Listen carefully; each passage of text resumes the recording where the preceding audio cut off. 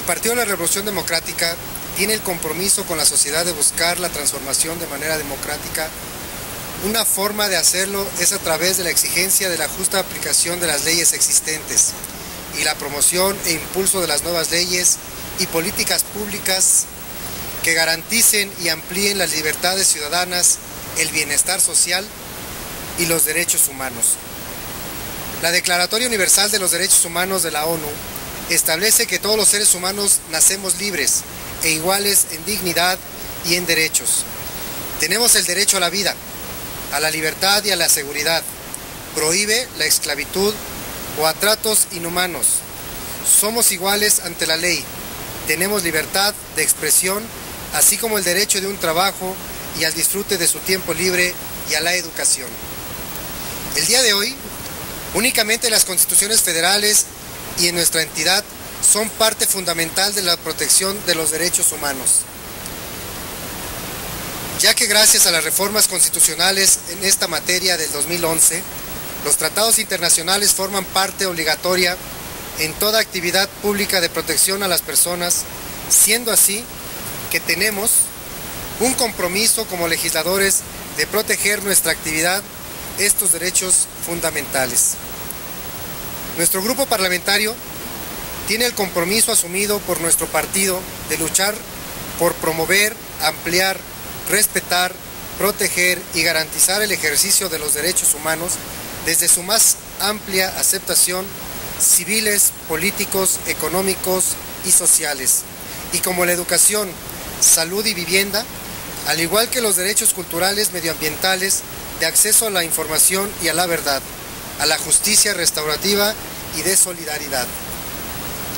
Este compromiso para nosotros, el motivo para que en el que estaremos muy al pendiente de las acciones que se lleven a cabo del servidor público que hoy se nombra como defensor de los derechos humanos del Estado de México, el día de hoy votaremos a favor del defensor de derechos humanos en el Estado de México. Sin embargo, nuestro voto de confianza no debe interpretarse como una aceptación ciega. Seremos críticos en la noble actividad que el día de hoy se encomienda. Y también aseguraremos que el recién nombrado Ombudsman tendrá en este grupo parlamentario a un aliado para llevar a buen puerto la protección de los derechos humanos de los mexiquenses.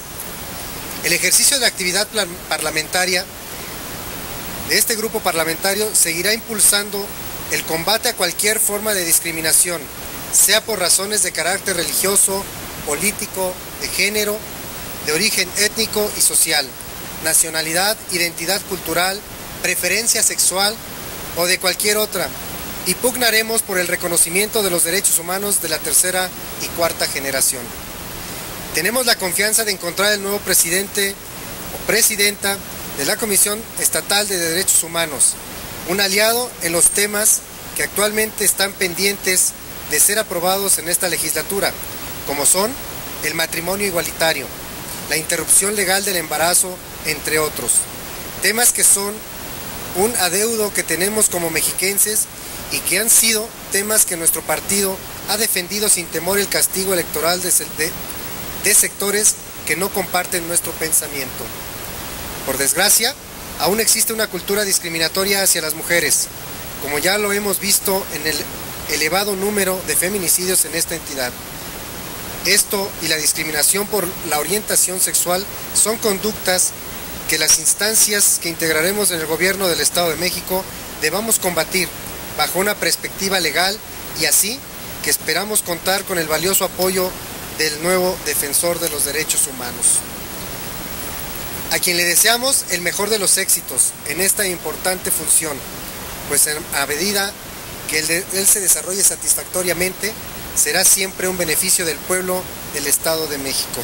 Es cuanto, muchísimas gracias.